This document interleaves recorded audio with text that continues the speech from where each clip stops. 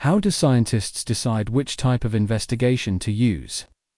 In this video, we'll explore how to select the best investigative approach to answer scientific questions. If you watched my previous video, you'll remember that we covered five different types of investigations and when to use each one. Now, let's put that knowledge into action. Let us explore a simple example of selecting an investigative approach. Imagine your class is learning about food and nutrients. And your teacher gives you a challenge. Investigate the major types of nutrients present in a food item, let us say, a cheeseburger. To carry out this investigation, your lab technician provides the following equipment and reagents a cheeseburger, a mortar and pestle, deionized water, glassware like beakers and test tubes, a water bath, and reagents, such as iodine solution, Benedict's reagent, Biuret reagent, and ethanol. First, you divide the cheeseburger into four equal parts and grind them into a paste, using the mortar and pestle. To make the food paste more workable, you mix it with distilled water. Creating a homogeneous suspension, you then distribute this mixture into four separate test tubes. Now, let us analyze what is inside our cheeseburger. In test tube 1, you add a few drops of iodine solution and stir. If starch is present, the solution turns blue-black. In test tube 2, you add Benedict solution, the same volume as the food sample, and place the test tube in a water bath at 80 degrees Celsius. A brick red precipitate indicates the presence of simple sugars like glucose. In test tube 3, you add Biuret solution, a mix of copper sulfate and sodium hydroxide. If proteins are present, the solution turns purple. In test tube 4, you add ethanol and shake the tube vigorously. If lipids are present, a cloudy white emulsion forms. At the end of the experiment, you record the color changes in each test tube helping you determine which macronutrients are present in the cheeseburger. So, what type of investigation is this? This investigation is best described as exploring and observing, because we are not grouping different foods into types or categories.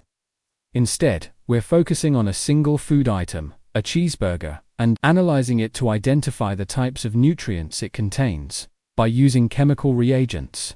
We're observing the presence or absence of specific nutrients, like carbohydrates, proteins, and lipids, within this one sample.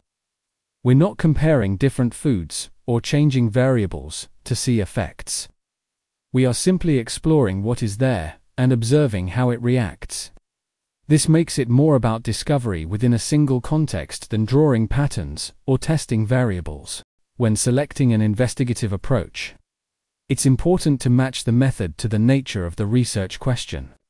In this case, identifying the types of nutrients in a food item requires an exploring and observing investigation rather than pattern seeking or fair testing. A pattern seeking investigation looks for relationships or trends between two or more variables without directly manipulating them. It helps answer questions like Do people who eat more protein rich foods have stronger muscles? Or is there a correlation between sugar intake and energy levels? These questions require large-scale observations and data collection across multiple instances. However, our investigation is about identifying specific nutrients in a single food sample, not looking for patterns across different foods. Since nutrient content is already a known characteristic of the food item, there is no need to look for trends, just direct observations. A fair test investigates the effect of one independent variable, while keeping all other conditions constant. This approach is used for questions like, does heating food destroy its vitamin C content? Or how does the fat content of different foods affect their energy release? In a fair test, we change one variable, for example, temperature, type of food, or preparation method, while keeping everything else the same, to observe its effect, however. Our investigation is not about comparing conditions, but simply detecting what is already present in the food. The chemical tests we use, iodine, Benedict's, Biuret, and ethanol, are qualitative. They reveal the presence or absence of nutrients, not how they change under different conditions. So, we can conclude that pattern seeking is not the right choice of investigation to answer our question, because we are not looking for trends or relationships across multiple samples. Fair testing is not suitable because we are not testing the effect of a variable on nutrient content. Exploring and observing is the right choice because we are using a systematic approach to explore what is in the food by observing the outcome of four different qualitative tests by using appropriate reagents. For students who are watching this, you need to analyze your experimental choice like this after you carry out an investigation. A big thank you to all those who have already subscribed to my channel. See you soon.